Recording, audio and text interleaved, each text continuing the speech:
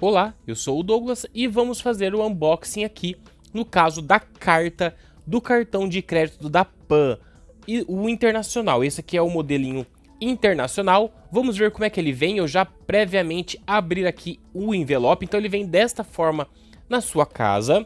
Em seguida, ó, de forma bem simples, uma folha com alguns dizeres, tá? Então ele, aqui ele vem esta mostrando aqui as versões que ele tem, tá? Nacional, internacional, Gold.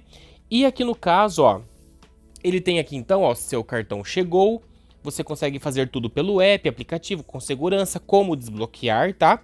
E aqui no caso ele tem algumas informações e aqui no caso é o cartão da PAN. Ele vem aqui, ó, do PAN, né? Ele vem aqui grudado, tá? Com o selinho. Aqui atrás eu já abri para previamente tirar aqui os dados, tá? Ele vem um selinho aqui grudado e ele fica as informações aqui atrás, ó. Aqui neste caso é o Gold, Sirius, que é no caso internacional, e o loginho é no caso espelhadinho aqui da, no caso da aqui da Mastercard, né? Então ele tem ainda este login aqui atrás espelhadinho e aqui na frente o simples, tá? Mas o cartão basicamente vem assim nesta folha aqui sem muito segredo, tá? Uma folha simples, é uma folha sulfite comum. Aqui atrás vem alguns dizeres também aqui, tá? Mas é bem simples e não muda, tá, gente?